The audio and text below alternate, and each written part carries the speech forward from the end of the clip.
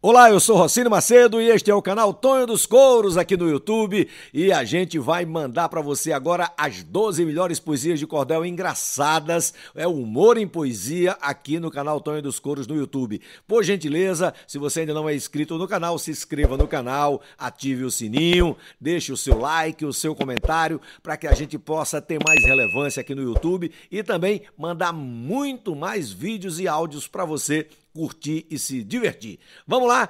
Vamos mandar aí as 12 melhores poesias de cordel engraçadas aqui no canal Tonho dos Coros do YouTube. Vamos lá! Sorria, sorria com Rocine Macedo humor em poesia. A pior doença do mundo. Uma mulher muito chata foi no médico com muita dor, dizendo que era uma dor esquisita. O doutor a examinou e perguntou: é como uma bola que sobe e desce, do intestino até a garganta, essa dor? É exatamente isso, doutor.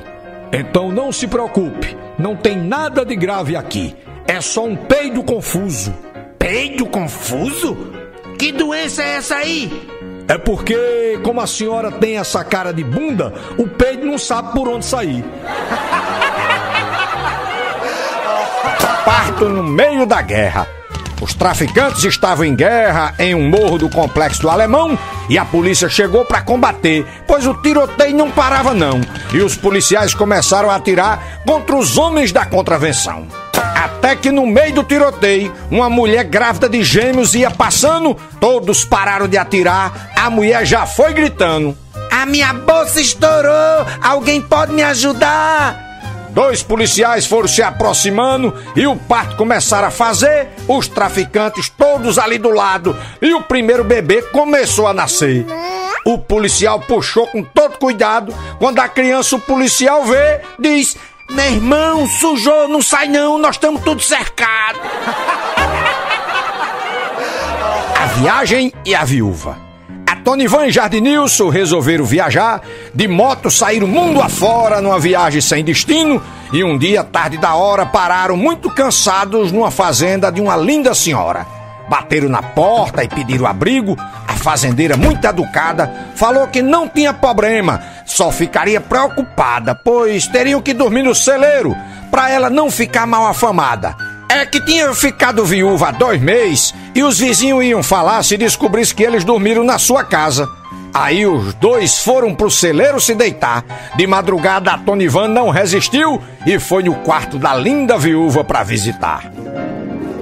Depois de seis meses, Jardinilson recebeu uma carta que o intrigou. E a Tonivan perguntou: A Tonivan, naquela noite que a viúva nos salvou, e nos deu dormida no celeiro. De madrugada você escapou e com aquela linda viúva fez amor?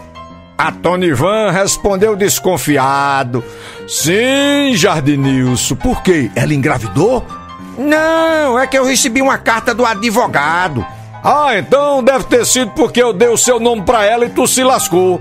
Não, é que ela morreu e deixou tudo pra mim. Obrigado. Toda palavra pode ter outro sentido.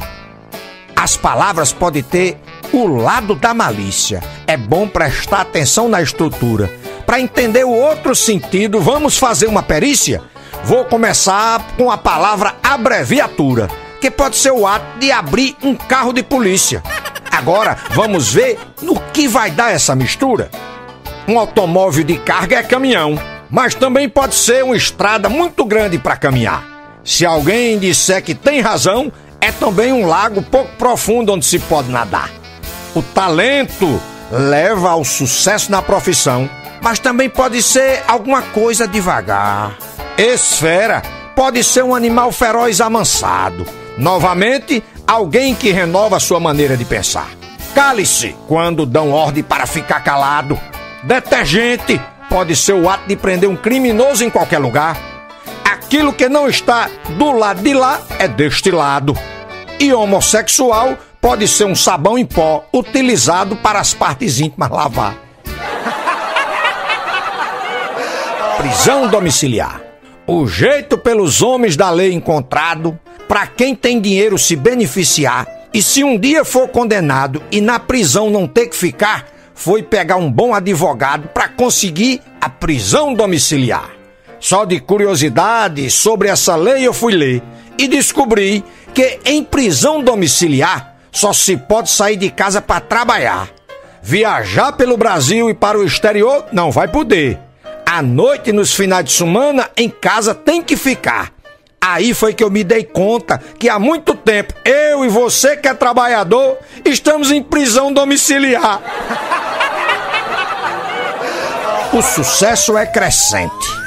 O sucesso na vida vem com a idade. Não precisa se preocupar, só precisa ter a capacidade de não mudar quando o sucesso chegar.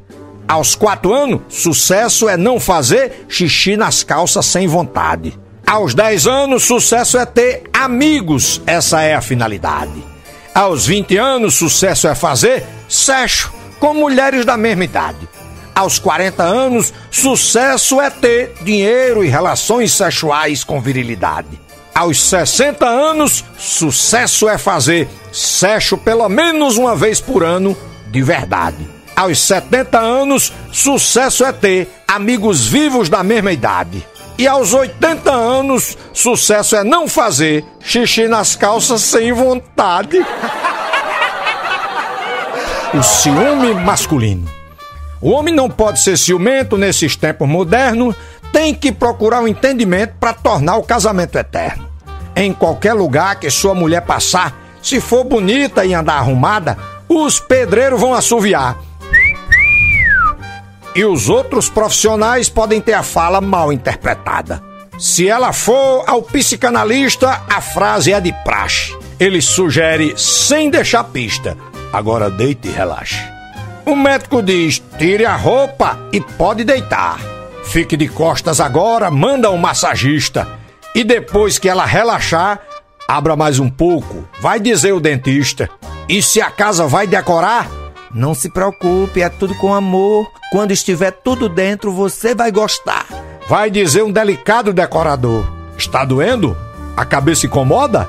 É o farmacêutico que pergunta cabreiro. Vamos fazer uma coisa diferente que tá na moda? Sugere quem você nem desconfia, o cabeleireiro. Assim, assim, vem, vem, vem. Calma, é só o Franelinha ensinando ela a fazer baliza. Assim mexe que eu mexo também. É o professor de culinária que o alho às vezes pisa. Pode segurar, mas não pode apertar. Diz o vendedor de frutas para não ter prejuízo.